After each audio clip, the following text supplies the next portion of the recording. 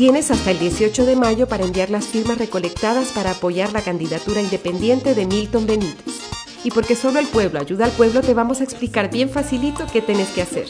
Primero, marcar solo y únicamente el primer recuadro. Sí, ese que dice nivel presidencial. ¿Listo? Listo. Ahora donde dice candidatura independiente escribes el nombre de Milton Benítez. Ojo, usa solamente tinta negra. Ahora la persona que está recolectando las firmas deberá escribir el nombre de su departamento y municipio. Aquí viene algo muy importante. ¿Ven esos cuadritos? Bueno, busquen sus cédulas o sus pasaportes y les explicamos. La respuesta está en los primeros cuatro números. Los dos primeros son el departamento y los dos segundos el municipio. Simple. Este es un regalo para Milton Benítez, el perro amarillo, quien denuncia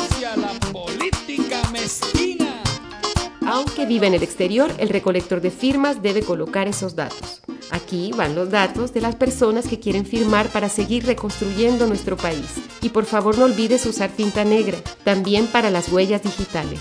Ahora busca en la página web miltonbenitez.com donde puedes ir a entregar tus hojas firmadas. Y recuerda siempre, qué bello es ser honesto.